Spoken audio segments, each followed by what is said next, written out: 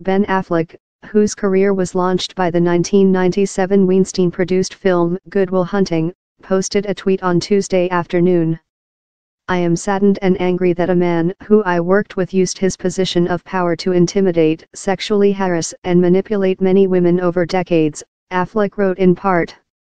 Jennifer Lawrence, who won an Academy Award in 2013 for the Weinstein-produced film Silver Linings Playbook, told Variety on Monday that she was deeply disturbed to hear the news about Harvey Weinstein's behavior.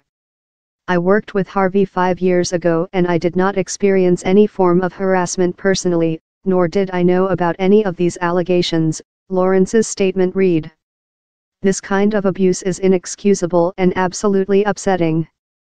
Related, Meryl Streep speaks out on disgraceful Harvey Weinstein allegations. George Clooney spoke with the Daily Beast Monday night and called the accusations against the man he has known for 20 years indefensible.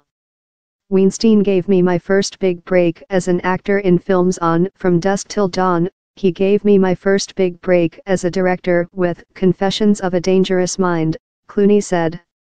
We've had dinners, we've been on location together, we've had arguments. But I can tell you that I've never seen any of this behavior, ever.